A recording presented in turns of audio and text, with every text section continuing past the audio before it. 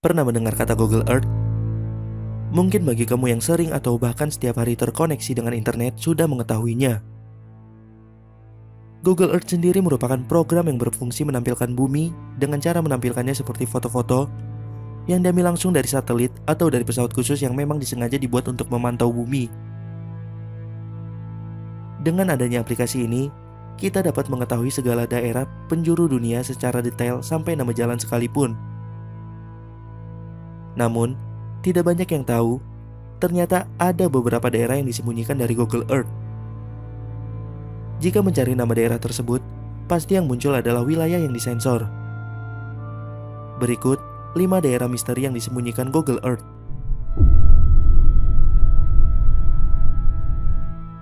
Satu, Baker Lake, Kanada. Daerah pertama datang dari Kanada bagian utara, Tempat ini diketahui tempat tinggalnya suku Inuit. Dan sampai saat ini, tempat ini tidak bisa diakses Google Earth. Menurut beberapa pihak, tempat ini diduga sebagai area pendaratan alien. Ini terlihat dari bentuknya yang mirip dengan monolit dalam serial novel dan film Space Odyssey. Dan yang lebih meyakinkan juga adanya lokasi salju yang dianggap tempat untuk pendaratan alien karena dapat mengurangi medan elektromagnetik.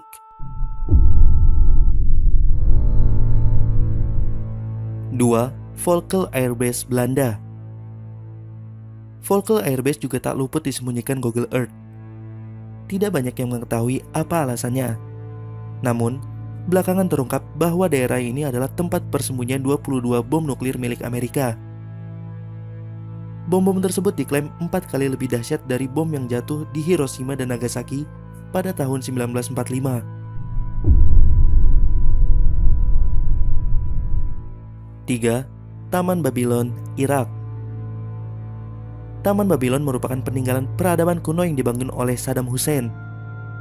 Kini, Saddam sudah tiada. Namun, entah kenapa daerah ini masih ditutupi oleh Google Earth. Hingga saat ini, alasan penyembunyian Taman Babylon di Google Earth masih menjadi misteri.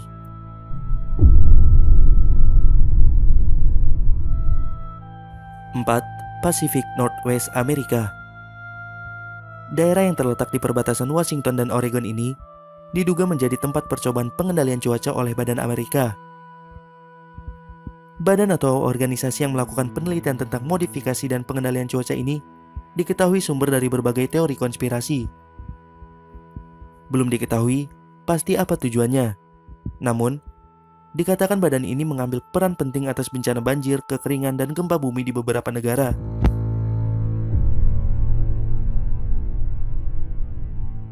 5. Area misterius di Rusia Mungkin beberapa daerah di atas hanya tertutup sebagian. Namun, lain halnya dengan daerah yang ada di Rusia ini. Google Earth menutupi hampir semua daerah. Ternyata, daerah padang rumput yang disensor ini terletak di Ekvekinot, Rusia, dekat dengan Selat Bering, Alaska. Mengenai sensor daerah tersebut, dikatakan bila ini adalah permintaan Rusia sendiri. Pada tahun 1986, Rusia pernah menyatakan bahwa ada banyak kota yang sengaja ditutupi, meski di dalamnya terdapat jutaan orang. Sampai sekarang, daerah itu masih menjadi misteri. Berikut 5 daerah misteri yang disembunyikan Google Earth. Jika Anda suka memainkan Google Earth, tidak ada salahnya jika Anda mengecek tempat-tempat tersebut. Terima kasih sudah berkunjung ke channel kami. Jangan lupa untuk klik like, share, dan subscribe.